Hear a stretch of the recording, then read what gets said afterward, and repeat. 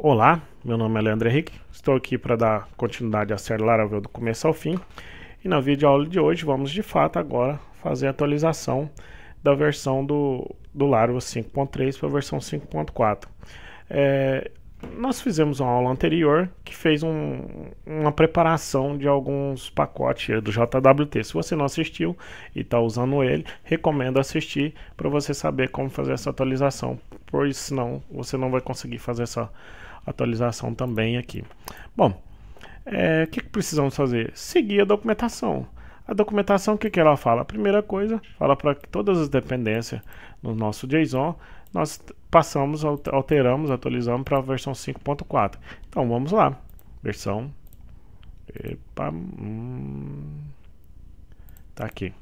5.4. O que acontece? Esse pacote validate que nós estamos usando, ele faz uma dependência, faz um, uma dependência lá para a versão 5.3 e não vai aceitar. Eu já atualizei ele, é, então pondo a versão 1.4 para que possa é, continuar também.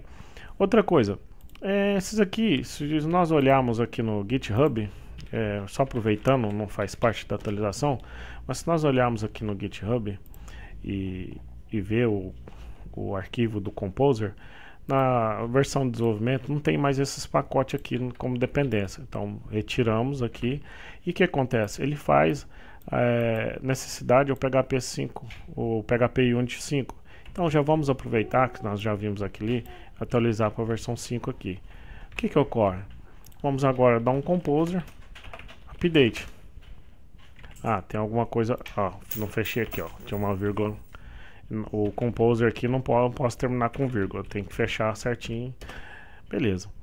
É, vamos mandar atualizar. Vamos ver o que, que vai acontecer. Os erros. Esse é o primeiro passo que ele fala para a gente fazer.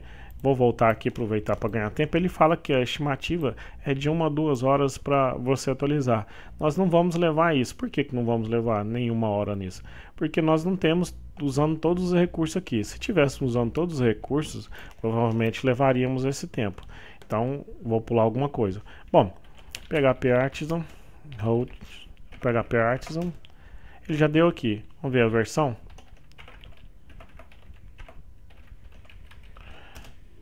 Versão 5.4.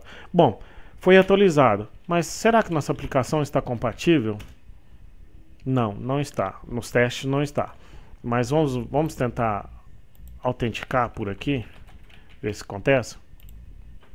Ele autenticou. Autenticou.